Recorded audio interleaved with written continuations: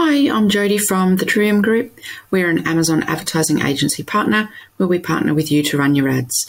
In this video, I'm going to show you how to edit your back-end keywords.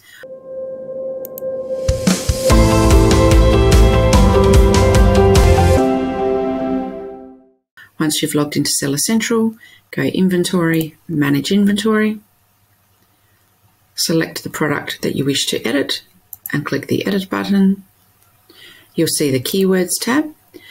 This shows your current um, back-end keywords or search terms. You can make any modifications here, add some in or delete some. And then once you've finished, just click Save and Finish. Allow 15 minutes for changes to be approved, and then they should be done.